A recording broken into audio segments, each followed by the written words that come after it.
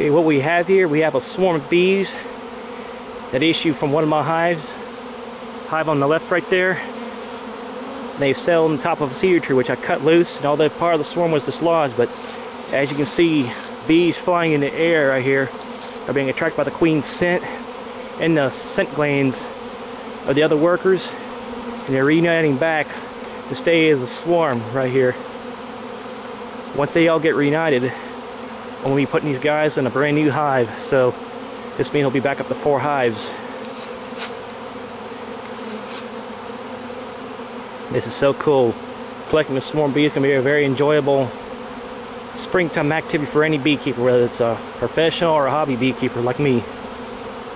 Just listen to these things. It's just all you hear is a constant whining, whirring sound.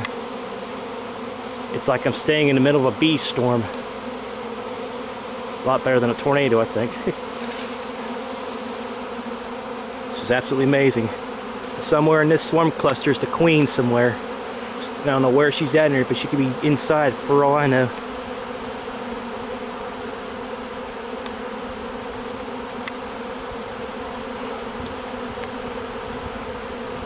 You can see all those here follow their way down.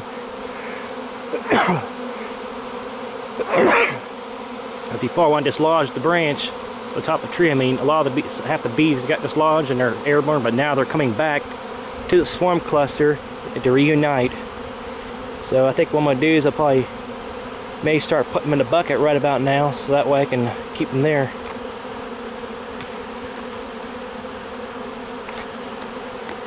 Things starting to tilt over, I'm going to shut her off.